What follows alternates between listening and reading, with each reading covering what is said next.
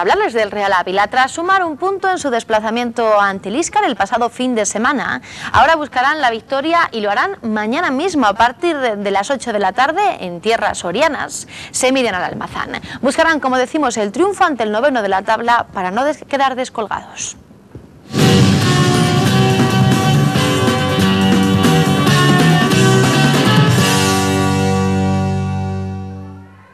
Un punto que sabe a poco para la plantilla encarnada, aunque por el devenir del encuentro pudo ser peor.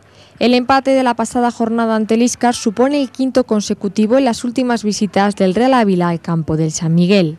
Otras circunstancias no era malo, pero bueno, ahora mismo estando en, la posición que estamos, pues lo que necesitamos es, sumar de tres en tres y, la verdad que, son dos puntos que nos dejamos en, un campo que no siempre se nos ha dado bien, pero que, deberíamos haber ganado. Sin tiempo que perder y con la oportunidad de enmendar el error, los encarnados viajan hasta Soria para medirse mañana a partir de las 8 de la tarde la Arboleda al Almazán.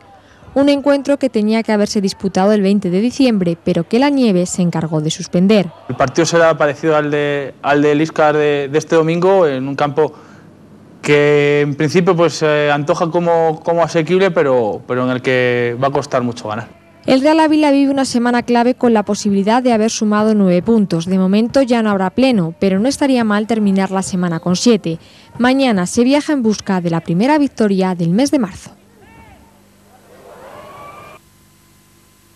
Antes de continuar, vamos ahora con las previsiones del tiempo para las próximas horas. Parece ser que los cielos poco a poco se van despejando.